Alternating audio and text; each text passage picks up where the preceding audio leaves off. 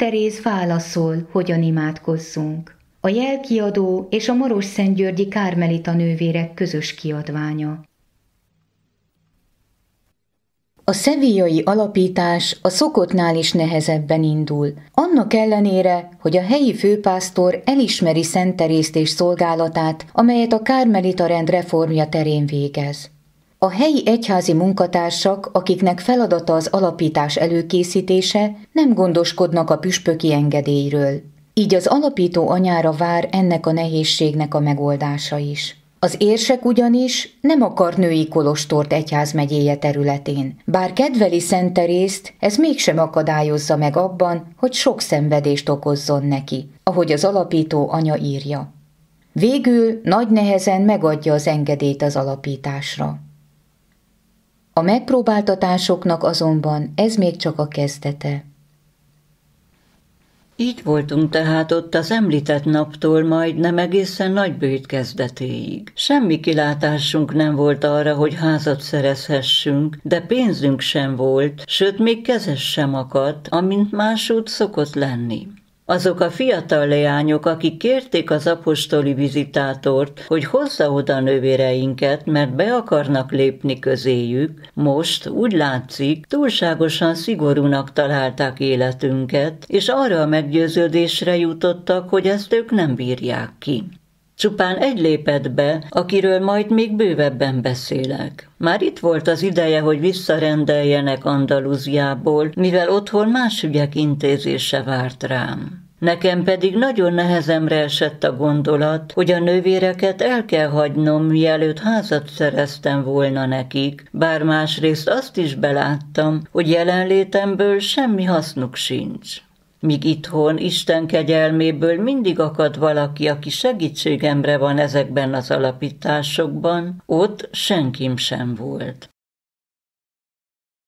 Általában olyan helyen érdemes alapítani, ahol számítani lehet utánpótlásra, új belépőkre a rendbe. Úgy tűnik azonban, hogy az először lelkes fiataloknak inukba száll a bátorságuk, amikor szembesülnek a sarutlan kármeliták mindennapjaival, nem az akkoriban megszokott szerzetesi életre rendezkednek be. Szent Teréznek nincsenek ismerősei Andalúziában, mint otthonában, Kasztíliában. Valószínűleg már vágyik is visszatérni Kasztíliába, de vérzik a szíve nővérei láttán, akiknek egyelőre nincs kolostorépületük. Az Úr azonban mindig lép, amikor szentünk kifogy a megoldást jelentő ötletekből.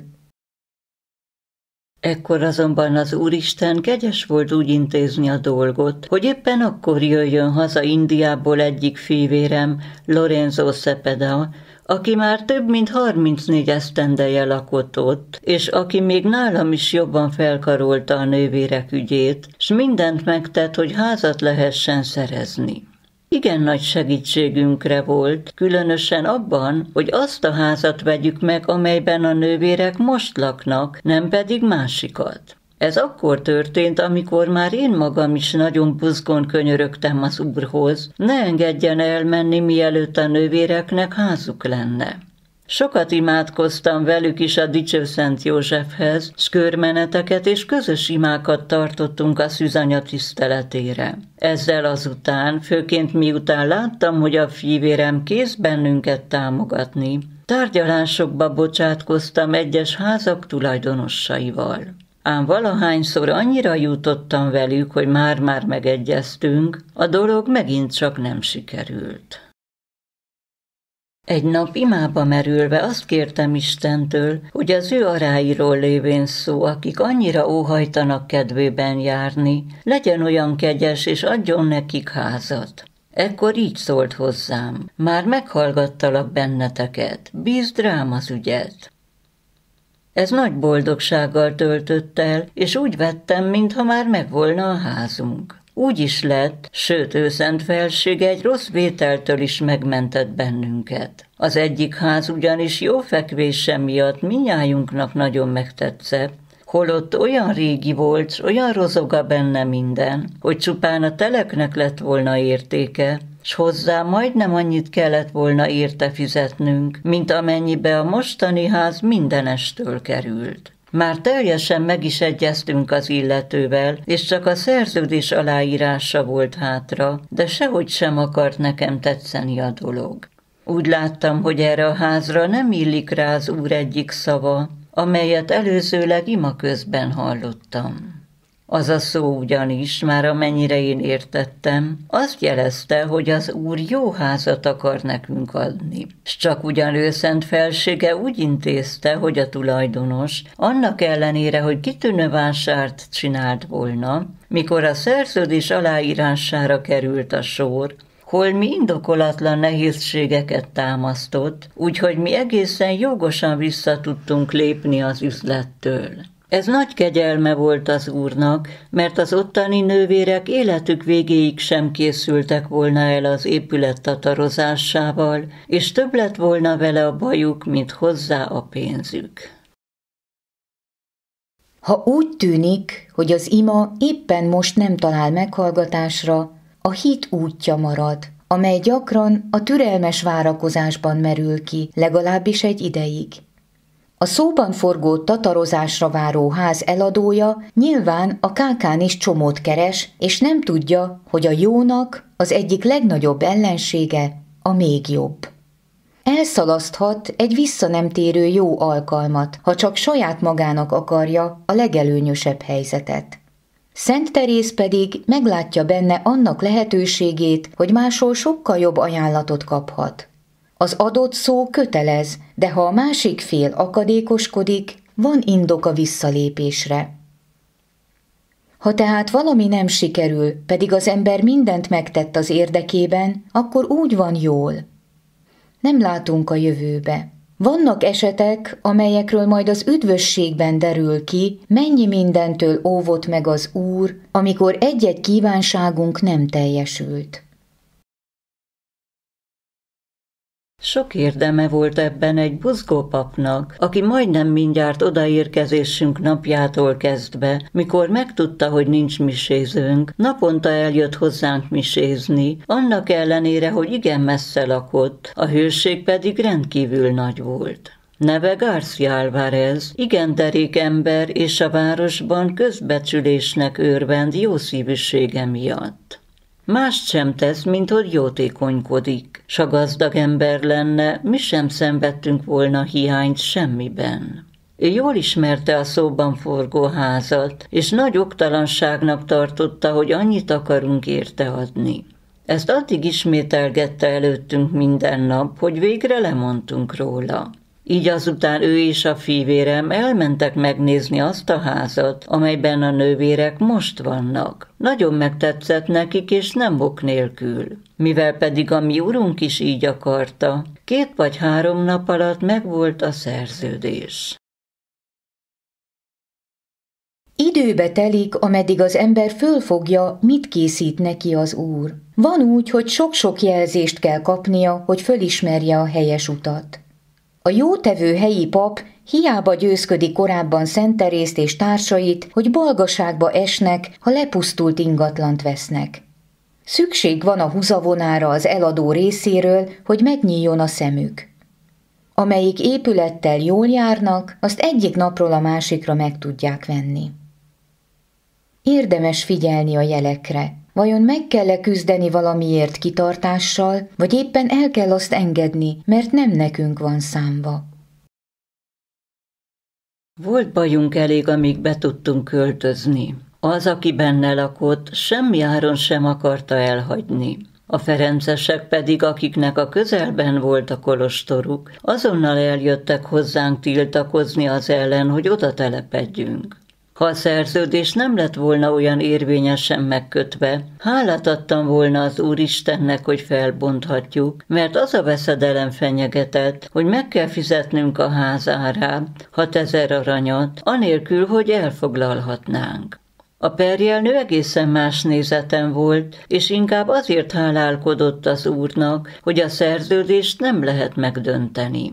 Neki ugyanis ő szent felsége sokkal több hitet és bátorságot adott, mint nekem, mint abban, ami ezt a házat illeti, sőt valószínűleg mindenben, mert ő sokkal jobb nálam. Szent Terész számára sem mindig egyértelmű, mi a helyes döntés egy-egy ügy kapcsán. Az úr azonban ekkor bátorságot ad a környezetében élőknek, hogy vele szemben foglaljanak állást, ha az ő meglátásuk a jobb. Ha pedig megszületett egy döntés, amely meg is pecsételődik, jelen esetben a házvétel szerződéssel, akkor érdemes kitartani mellette, a bonyodalom ellenére is, amely hirtelen támad körülötte. Nyilván a ferencesek egy kissé féltik alamizsnájukat, hiszen őket is a város látja el, és valószínű, hogy az adakozók nem csak nekik visznek majd elemózsiát, hanem a kármelita nővéreknek is. Így kénytelenek osztozkodni, és talán kevesebb is juthat nekik, gondolják. Biztosan megtapasztalják, hogy a nagy lelkűségben olyan gazdag gyümölcsterem, amelyel többen jól lakhatnak, mint gondolnák.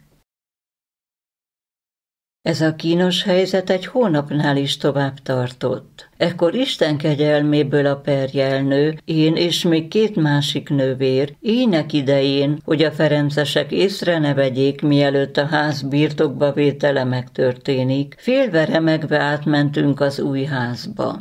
Azt mondják, akik velünk voltak, hogy ahány árnyékot láttak, mindegyiket szerzetesnek nézték. Hajnalban azután Garcia Alvarez, aki velünk jött, elmondta az első szent misét, mire minden rettegésünk megszűnt. Lopva mennek be a saját házukba, nehogy tetlegesen megakadályozzák a ferences szentestvérek a birtokba vételt. Elég mérgesek lehetnek, ha a nővérek ennyire félnek tőlük. Amint bemutatják az első szentmisét a házban, megalapítottnak számít a kolostor, és csak hosszas procedúra árán lehet megszüntetni. A jó Ferences testvérek pedig előbb-utóbb belátják, hogy a nővérek jelenléte miatt nem kell majd szegényebben élniük, mint eddig. Ó Jézusom, hányszor kellett így remegnem ezeknél a birtokba vételeknél? Elgondolom, hogy ha az ember ennyi félelmet áll ki olyankor, amikor nem töri rosszban a fejét, sőt Isten szolgálatában jár kell, milyen lehet azoknak a lelki állapota, akik Isten és embertársuk ellen készülnek valami merényletre?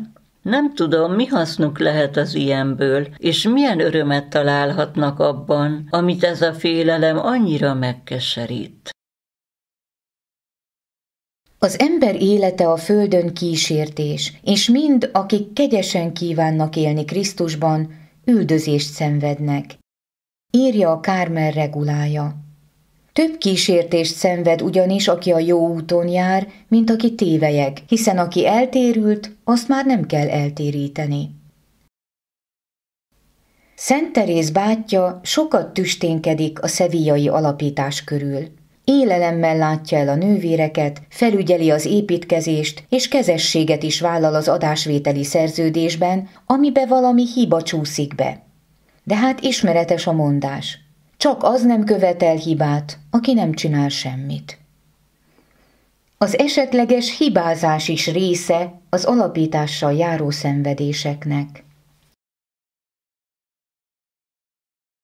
Fivérem ekkor nem volt velünk, mert lapítania kellett egy bizonyos tévedés miatt, amely a nagyon is hirtelenjében készült szerződés becsúszott. Ebből nagy kára lehetett volna a kolostornak, mivel pedig ő volt a kezes, el akarták fogatni. Idegen lévén a városban sok bajunk lehetett volna miatta, sőt volt is elég, mert mindaddig, amíg nem tett le egy bizonyos összeget biztosítékul, nem hagyták békén. A dolog végül simán megoldódott, bár azért, hogy legyen alkalmunk szenvedni, kijutott egy kis pörösködésből is. Kezdetben néhány földszinti helyiségben kellett meghúzódnunk, míg a fivérem egész nap a munkások közt sürgött forgott. Még az ellátásunkat is ő vállalta magára, amit különben már jóval ezelőtt megkezdett. Ekkor ugyanis még nem igen tudtak a kolostorunkról, mivel magánházban laktunk, és így ugyancsak kevés alamisnában lett volna részünk, ha egy szent öreg perjel, a de las Cuevasi Kartauzi kolostor elöljárója, és Istennek rendkívül buzgó szolgája nem küldözgetett volna nekünk olykor-olykor egyet-mást. Avilai születésű volt a Pántohát családból. Az Úristen akkora szeretetet keltett benne irányunkban, hogy ott létünk első percétől kezdve minden képzelhető szívességet megtett nekünk, és hiszem, hogy így fog tenni élete végéig. Mivel pedig úgy illik nővéreim, hogy életükben és holtukban buzgón imádkozzatok Istenhez azokért, akik annyira támogattak bennünket, ezért írom ide a nevét. Ennek a szent embernek rendkívül sokkal tartozunk. Mindez azt hiszem valamivel hosszabb ideig tartott egy hónapnál. Megjegyzendő, hogy az ilyen időtartamokat illetően emlékezetem nem megbízható, és ezért értsétek mindig úgy, hogy valamivel több vagy kevesebb is lehetett. Végül is ez nem fontos.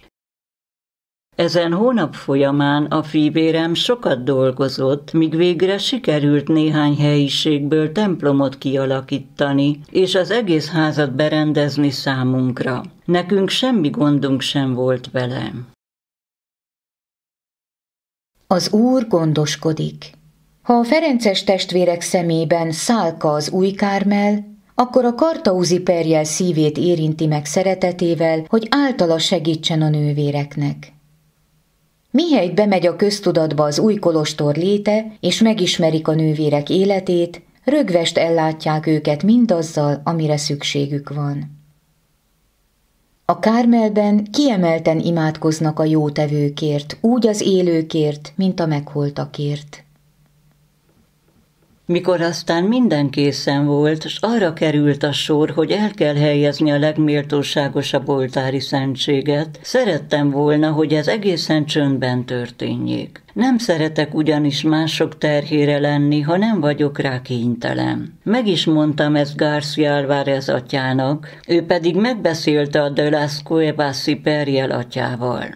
Ők ketten ugyanis még a saját érdekeiket sem viselték annyira szívükön, mint a miénket. Azon a nézeten voltak, hogy itt az alkalom megismertetni kolostorunkat a várossal, és ezért az oltári szentség elhelyezésének nagyon ünnepélyesen kell megtörténnie. Elmentek tehát az érsekhez, és abban állapodtak meg vele, hogy a legméltóságosabb oltári szentséget valamelyik plébánia templomból kell ünnepélyes körmenetben elhozni hozzánk. Az érsek tehát megparancsolta, hogy vegyen részt benne a papság, nem különben néhány egyházi testület, az utakat pedig díszítsék fel. A jó Garcia Alvarez rendkívül szépen földíszítette udvarunkat, amely akkor még, mint említettem, átjáró volt, s a templomunkat is pompás oltárokkal és ügyesen kitalált díszletekkel.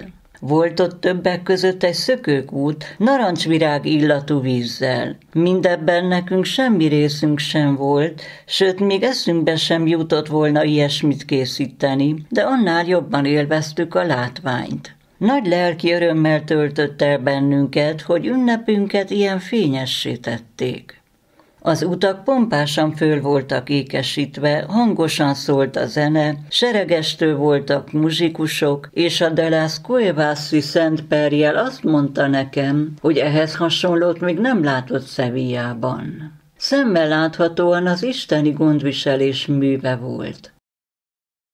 Szokása ellenére a perjel is részt vett a körmenetben, a legméltóságosabb oltári szentséget pedig maga az érsek helyezte el. Látjátok, leányaim, hogyan becsülte meg ez alkalommal mindenki azokat a szegény sarutlan nővéreket, akiknek előtte úgy látszott, hogy még egy korty víz sem akad Szevijában, pedig hát abból bőven van ott a folyóban. Hallatlan, mekkora volt a tömeg. Hiába szeretné Szent Terész szűk körben ünnepelni az oltári szentség elhelyezését az új kolostor kápolnájában, bölcs segítői mindent kitűnően megszerveznek a nép ünnepéhez. Ez ugyanis kiváló alkalom, hogy a lakosok megismerjék a nővéreket, és a városban való létezésük bemenjen a köztudatba. Nem közömbös ez, hiszen majd ő általuk gondoskodik az Úr erről a kis Krisztus kollégiumról, ahogy Szent Teréz nevezi egy-egy kolostora közösségét. Ekkor történt egy eset, amely valamennyi jelenlévőt nagyon megragadott. Sok volt a lövöldözés, mosarazás és a görög tűz, s a körmenet után késő este egyeseknek eszébe jutott, hogy folytatják. Ekkor nem tudom hogyan, egy kis puskaporkészlet felrobbant, és valóságos csoda volt, hogy nem ölte meg azt, aki vitte. Hatalmas lángnyelv csapott föl egészen a kolostor tetejéig, így mindenki azt hitte, hogy a sárga és karmazsin szövet, amelyel a falak borítva voltak, mind pórá égett. Éppen ellenkezőleg semmi baja nem esett. Igazán mondhatom, meglepő volt, mert például a kőfala szövet alatt egészen fekete lett a füsttől, míg ellenben a rajta lévő szövet olyan sértetlen volt, mintha a láng nem is érintette volna. Mindenki csodálkozott, amikor látta. A nővérek pedig hálát adtak az úrnak, mert nem tudták volna, miből térítsék meg a szövetek árát. Úgy látszik, az ördög dühös volt, egyrészt a szép ünnepség miatt, másrészt pedig annak láttán, hogy Istennek egy új háza épült, és így akart bosszút állni. Ő szent felsége azonban nem engedte. Áldott legyen örökkön örökké. Amen. Oly sok csodát tett az Úr ennek az alapításnak során is, egyáltalán, hogy létrejöhetett. Ez a fizikai csoda csupán egy közülük – Szent Teréz hálát ad érte, de különösebben nem lepődik meg, hiszen számára hasonlóan csodának számít az érsek engedélye, valamint a ház megvétele. Tudja, hogy mindent az Úr visz végbe, neki pedig csak bíznia kell, és megtennie benne a magáét, ami legtöbbször a sok-sok szenvedés, amely része az alapításoknak. Elképzelhetitek, leányaim, hogy mekkora volt a boldogságunk azon a napon, amikor elhelyezték a kolostorban az oltári szentséget. Ami engem illet, biztosíthatlak benneteket arról, hogy az enyém igen nagy volt. Főként annak örültem, hogy ilyen jó és kitűnő fekvésű házban hagyhatom a nővéreket. A kolostor ismeretessé lett a városban, a kolostorba pedig már fölvettünk néhány jelöltet, akiknek volt annyi hozományuk, hogy abból a házárának nagy részét fedezni lehetett. Akármilyen kevés legyen is tehát a hozománya azoknak, akiket a teljes létszám betöltéséig fölvehetnek, elegendő lesz arra, hogy megszabaduljanak minden adósságuktól. Leginkább az a tudat érintett igen kellemesen, hogy bőven volt alkalmam kivenni részemet a szenvedésekből, és most, amikor egy kissé megpihenhettem volna, el kellett utaznom. Ez a nagy ünnepség ugyanis az 1576. évi pünkösd előtti vasárnapon volt, és mindjárt a rákövetkező hétfőn útnak indultam. Egyrészt azért, mert közeledett a nagy nyári hőség, másrészt pedig, hogy a pünkösdi ünnep ne találjon útközben, hanem azt Malagomban ülhessem meg, ahol néhány napot szándékoztam tölteni. Ezért siettem annyira. Ekkor már nem fiatal Szent Teréz, és gyönge lábakon áll az egészsége, így súlyos megpróbáltatás számára minden egyes utazás. Ha pedig a még forróbb éghajlatú Andalúziában kell szekérre szállnia, a végén teljesen lebetegedhet. Gondol a frissen alapított kolostorokra is, hogy látogatásával segítse és erősítse nővéreit – Ám ő maga is szeretne meggyőződni, hogy minden rendben megye, és nem szenvednek-e hiányt a szükséges dolgokban. A Szentlélek eljövetelét ugyanakkor nem szeretné útközben ünnepelni, hanem nővérei körében az egyik kolostorban. Az úr nem adta meg, hogy misét hallgathassak új templomunkban. A nővérek örömét pedig erősen megcsappantotta távozásom. Nagyon fájt nekik, annál is inkább, mert egy egész esztendőt töltöttünk együtt, sok szenvedés közepette hiszen, mint mondtam, a legnagyobbakat nem is említettem itt, és azt hiszem, hogy eltekintve az avillai alapítástól, amely összehasonlíthatatlanul nehezebb volt még ennél is, egyetlen egy sem került ennyibe, főként azért, mert a szenvedések nagy része lelki fájdalom volt. Adja ő szent felsége, hogy híven szolgálják őt abban a házban, mert akkor mindez semmit sem számít, és remélem is, hogy e tekintetben nem lesz hiba. Ő szent felsége ugyanis már is elkezdett jó lelkeket vezetni ebbe a kolostorba. Ami pedig azt az öt nővért illeti, akiket én vittem oda magammal, már említettem, hogy mennyire erényesek, ami a legkevesebb, amit róluk mondhatnék. Az első nővérről, aki belépett, részletesebben akarok nektek beszélni, mert azt hiszem érdekelni fog benneteket. Szent Terész hozomány nélkül is fölvesz erényes, hivatással bíró leányokat. Ám ha van hozományuk, az jól jön, hiszen általában semmiük sincs, amikor elindul egy kolostorban az élet. Az első kolostor, az avilai Szent József kolostor megalapítása a legnehezebb, mert úttörő szerepet tölt be a reform elindulásában. A szevíjai alapításért való szenvedés azonban közelíti annak mértékét. Szent Teréz ugyanakkor tapintatos, és a legnagyobb szenvedések okozóit meg sem említi, attól tartva, hogy még élnek, amikor írása mások kezébe kerül. Nagyon fájt volna neki, ha nem sikerül az alapítás Szevíjában, hiszen szeretett tartományfőnöke Grácián atya kérte őt erre, pedig az alapító anya Karavákába készült, amikor megkapta a parancsot a szeviai alapításra. Bár Szent Terészt igazolta volna az esetleges kudarc, de ő nem akarta előjárója megszégyenülését. Minden bizonyal sokat ostromolta az urat, hogy engedje megvalósulni ezt az alapítást. Nincs megállása számára, bármennyire is szeretne megpihenni egy kissé az úr lábánál az új kolostorban, néhány napot imában töltve. A nővérek pedig megszokták a jelenlétét, és előre érzik a hiányát, nehéz szívvel engedik őt el. Mégis útra kell kelnie vissza Kasztíliába.